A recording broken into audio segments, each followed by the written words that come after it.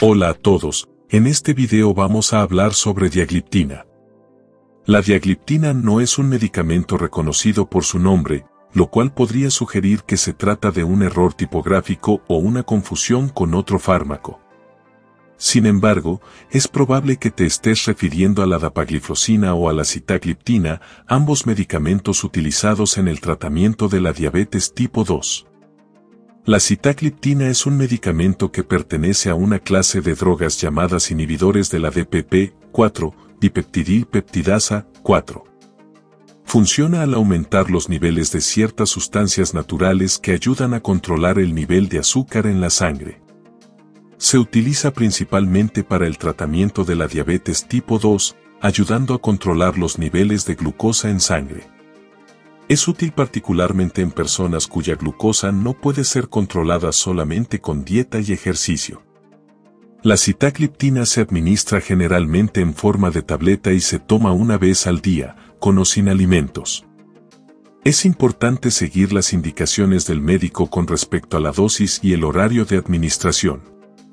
La dapagliflozina pertenece a una clase de medicamentos conocidos como inhibidores SGLT2, cotransportadores de sodio glucosa tipo 2.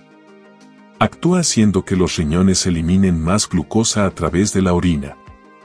Este medicamento también se usa para tratar la diabetes tipo 2 y en algunos casos se ha utilizado para ayudar en el tratamiento de la insuficiencia cardíaca. Ayuda a mejorar el control del azúcar en sangre y también puede contribuir a la pérdida de peso y reducción de la presión arterial. La dapagliflozina se administra por vía oral, generalmente una vez al día por la mañana, con o sin alimentos. Al igual que con la citagliptina, es crucial seguir las indicaciones médicas en cuanto a dosificación. Es esencial que los medicamentos como la citagliptina o la dapagliflozina sean prescritos por un médico quien determinará la dosis adecuada y proporcionará instrucciones específicas basadas en las necesidades individuales del paciente y su estado de salud general.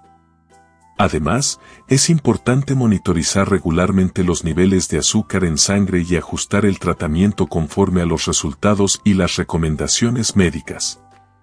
Espero que te haya sido útil el video, no olvides de suscribirte y activar la campana de notificaciones para más videos.